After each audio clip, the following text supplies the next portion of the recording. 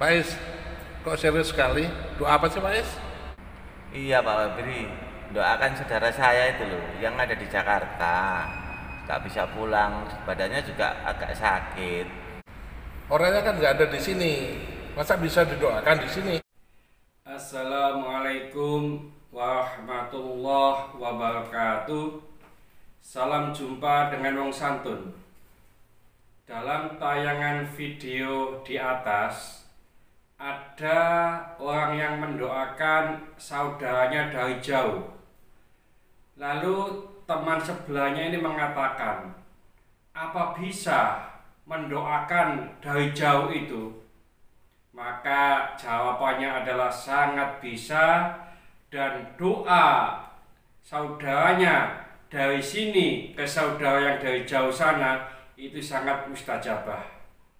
Dalam hadis riwayat Muslim disampaikan dalam kitab Sahih Muslim ini dijelaskan haddatsana Ishaq bin Ibrahim akhbarana Isa bin Yunus haddatsana Abdul Malik ibnu Abi Sulaiman an Abi Zubair dari Abi Zubair an Sofwana dari Sofwan wa ibnu Abdullah ibni Sofwan dia adalah ibnu Abdullah bin Sofyan wa kanat tahtahu dada dan riwayat selanjutnya dari Ummu Darda.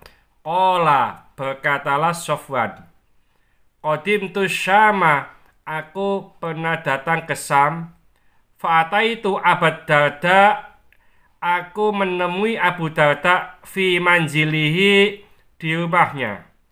Falam ajidhu tapi aku tidak mendapatkannya. Wawajatu Ummu Darda maka aku dapati Ummu Darda. Faqalat lalu Ummu Darda bertanya kepada saya Atuidul hajja al-am? Apakah kamu hendak menunaikan ibadah haji tahun ini?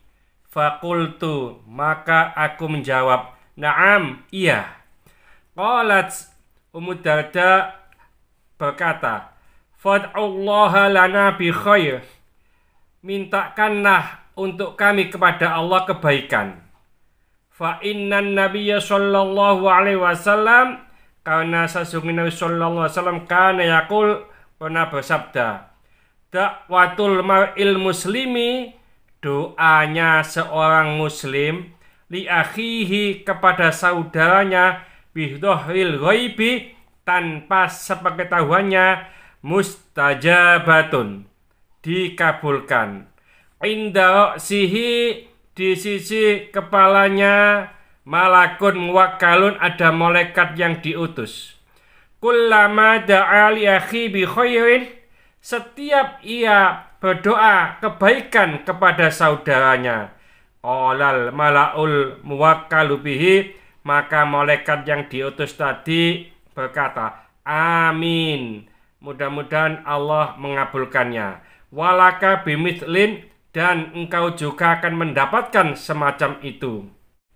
Dalam hadis tersebut disampaikan bahwa bila ada seorang muslim mendoakan saudaranya yang jauh itu pasti mustajabah.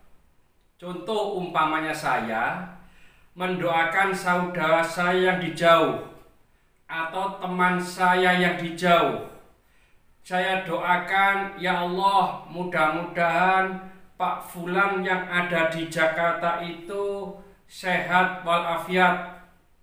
Maka di atas kepala saya itu ada malaikat yang mengatakan, Amin. Mudah-mudahan dikabulkan oleh Allah. Di samping itu, malaikat itu juga mengatakan, Hei Anas, kamu juga mendapatkan doa semacam itu. Artinya, kalau saya mendoakan sehat kepada saudara saya di jauh, maka itu juga mendoakan diri saya supaya sehat. Itu inti daripada hadis riwayat Muslim. Oleh karena itu, jangan segan-segan, jangan pelit-pelit untuk mendoakan saudara kita yang ada di jauh. Saatnya doa tentang kebaikan. Mudah-mudahan sedikit ini dibangun hidayah oleh Allah Subhanahu wa taala. Mudah-mudahan bermanfaat bagi kita semuanya. Sampai jumpa di video yang akan datang. Akhir kalam, Assalamualaikum warahmatullahi wabarakatuh. Salam Mang